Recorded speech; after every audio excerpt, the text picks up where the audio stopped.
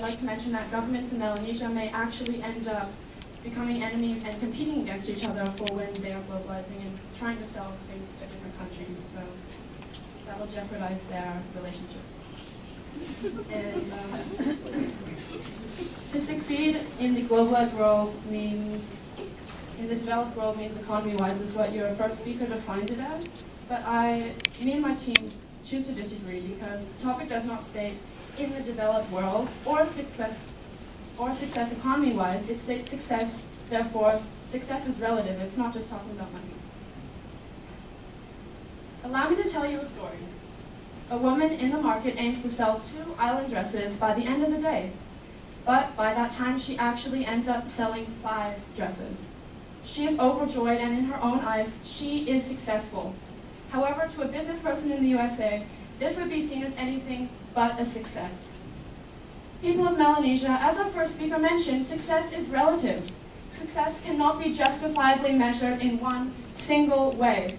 We can only measure success based on how rich our countries define it, which is essentially that success equals large sums of money. That's incorrect. Success means achieving goals that you have set for yourself. Success can also mean achieving a personal goal of happiness, which don't require things like phones or TV that globalization brings, but instead can be accomplished by less material things in life, such as dancing, singing, laughing, and spending time with family and friends In Melanesia, we cannot limit ourselves in our thinking.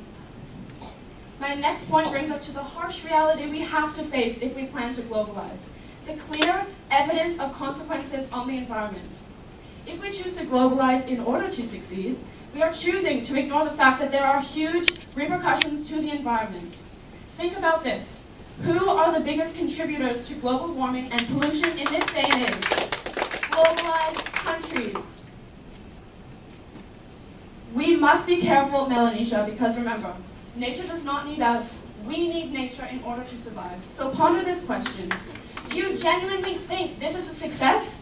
Because I don't think so. Take for, example, take for example Nauru. The beautiful country that was once filled with resources of phosphate is now a dirty wasteland where 80% of it is uninhabitable. However, Melanesia, let's shift to a happier topic, us. Vanuatu has been at the top of the ladder in terms of happiness globally before. Doesn't this provide enough evidence that we do not need, need to globalize in order to succeed? That really is the beauty of our Melanesian countries, that we can succeed on so many different levels other than globalizing.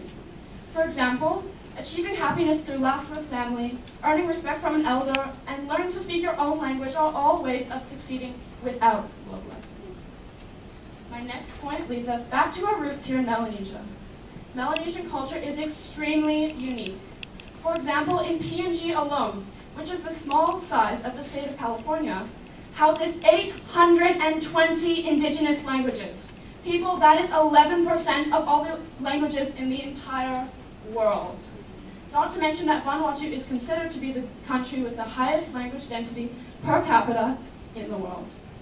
Now, think audience all of these languages, each one unique to the particular area, and people there can be lost and forgotten by the seemingly innocent act of globalization. See, what happens is people become more interested in newer, more seemingly interesting things instead of learning their tradition and language.